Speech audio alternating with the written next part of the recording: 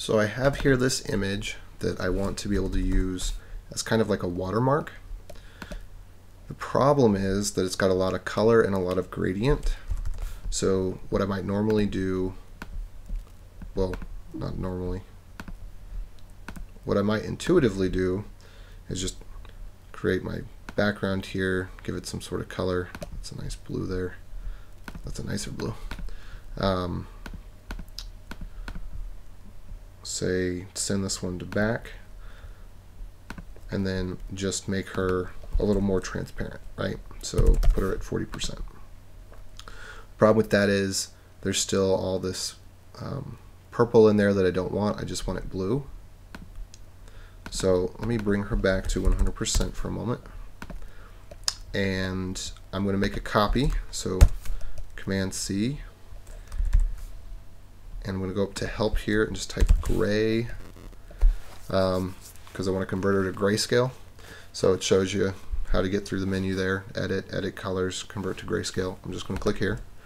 So now she's grayscale. And then I'm going to paste and see if I can just get it lined up right on top.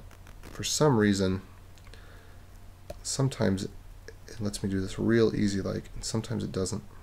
Anyway, get her on top there, and then I'm just going to check and see if I can make it a little bit more accurate. Bring that in. Okay, close enough. Well, pretty exact. Okay, so now I've got the copy on top. I'm going to turn the copy to white.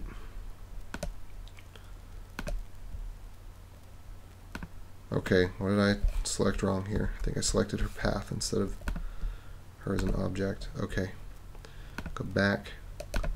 All right, now she's white. And I'm going to do arrange and send backward. So I want the gray one to be on top. So I currently have the white one selected. Now I'm going to hold shift. I'm also selecting the gray one. If I had selected the gray one first, then I could go to select next object below.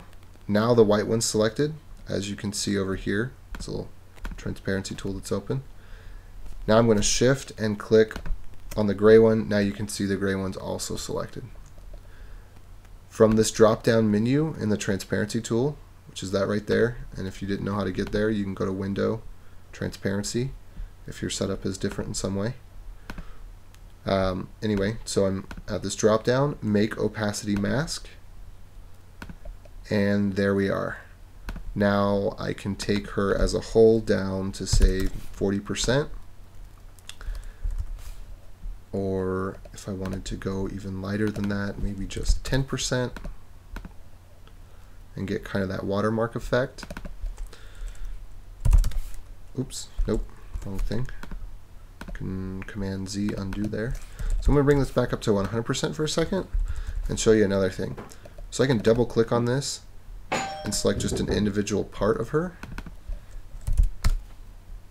Take it down by some percentage. Let's put that more closer, like 60 there. Okay, back out, click away. Now just her body is at that lower percentage.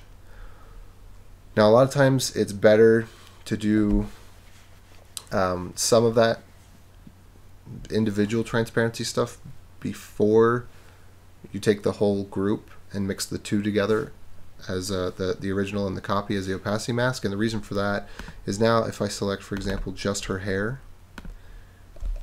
and put that at 40%. Click out. Whoops, I didn't get it selected. There we go. Now it's selected. Put that at 40%. Now you can start to see the transparency underneath is showing through. So you just got to play with it a little bit. Um, sometimes back out and then retry so that you get the right transparencies the way that you want them. Um, but anyway, uh, hopefully that was helpful. And uh, there we are. If this was useful for you, please go ahead and give that little thumbs up button a nice click. Also, you'll see the notes are in the comments section down below. You can either at the end of the article or right up at the top. Give it a like, tweet, plus one, whatever. Thanks.